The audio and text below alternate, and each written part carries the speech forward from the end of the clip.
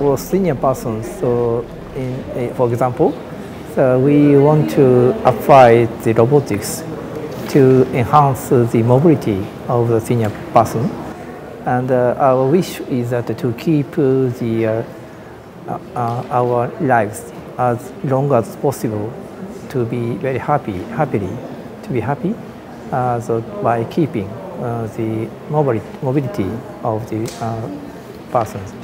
And for more application, for example, industrial application and service application, so, so now we need uh, more people to work. So especially in Japan, so we are very little young people and many, many old people. So it's very clear that uh, the uh, we will have a shortage in uh. So we have to compensate uh, the working people by robotics, I think, to keep our societies.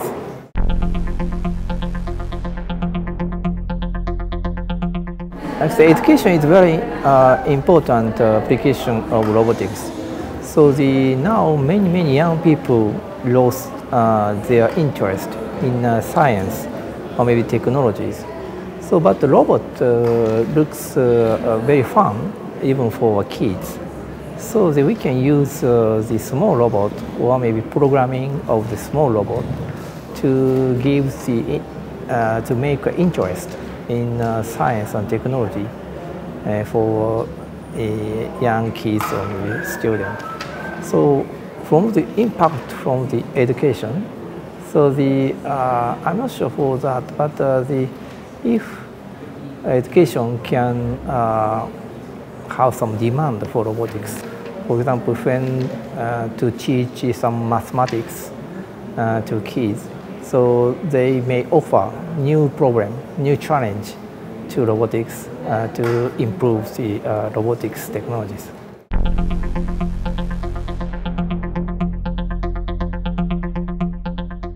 See, actually, uh, robots seem to be very useful, but uh, the even for industrial robot.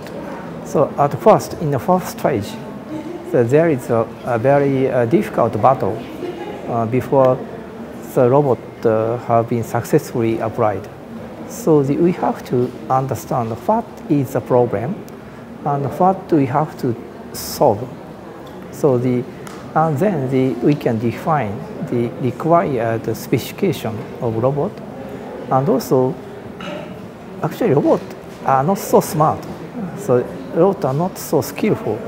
So the, we have to have a better environment.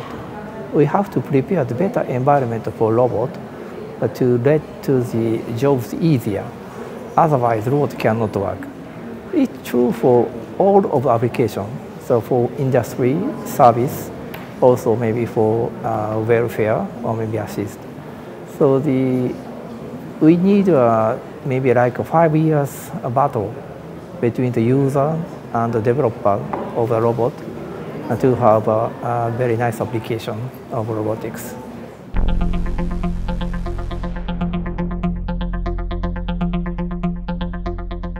About the uh, medical application, uh, so by using artificial intelligence, I believe much aspect, many aspects of the, for example, diagnosis, and also the much aspect of the maybe to provide the uh, uh, can be uh, realized by artificial intelligence by analyzing the, what we call big data. And for, for other aspect.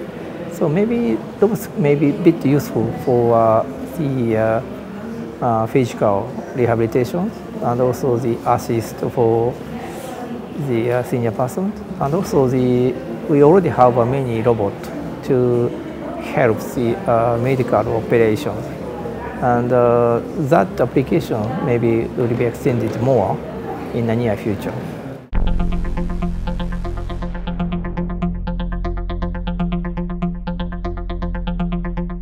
So actually we are like an agent of the Japanese government.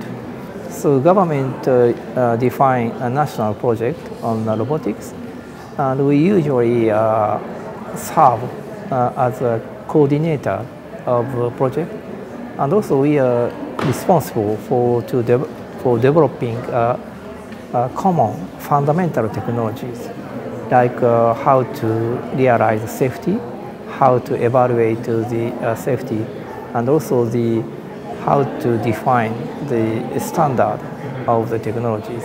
That's uh, how we are working uh, with the industries.